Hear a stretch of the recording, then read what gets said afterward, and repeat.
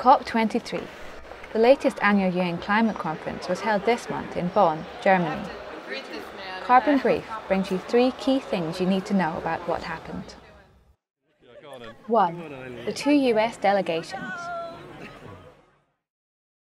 After US President Donald Trump announced his plan to withdraw from the Paris Agreement on climate change earlier this year, all eyes were on what signs the US would give at the climate summit.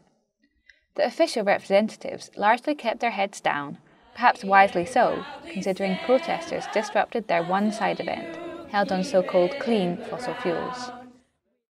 Meanwhile, another unofficial US delegation, made up of key politicians including former New York City Mayor Michael Bloomberg and California Governor Jerry Brown, set up camp in style right beside the official venue.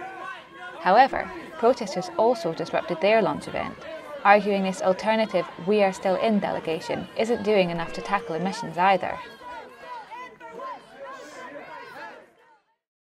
2. The Talanoa Dialogue. The Paris Agreement commits countries to holding global warming to well below 2 degrees and trying to limit it to 1.5 degrees. But when totted up, current national pledges fall well short of this and would lead to more than 3 degrees of warming. This means countries will have to increase their ambitions over the coming years. Next year we will see the first time progress on this is discussed and demonstrated by countries.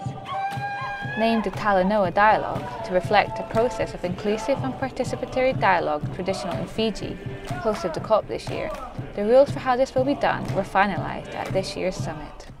Talanoa Dialogue happens in 2018, and that's the first opportunity for parties to look at what they have done and what they're going to do and check whether that's enough or not. 3. Pre 2020 action. The Paris Agreement doesn't come into force until 2020, but many argue not enough is being done to tackle emissions before then. A lack of space to discuss this became a huge sticking point at this year's COP.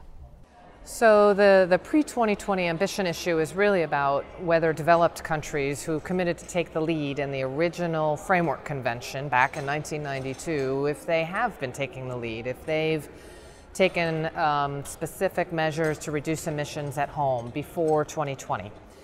And I think many developing developed countries wanted to just kind of ignore that and focus on post 2020. But developing countries said, no, we actually need to peak global emissions by 2020, so we want that to be a big topic here. A compromise on pre 2020 action was eventually reached. This included more focus on key issues such as the $100 billion per year of climate finance promised to developing nations by 2020, and a push for more countries to ratify the Doha Amendment, a global climate deal for the pre 2020 period.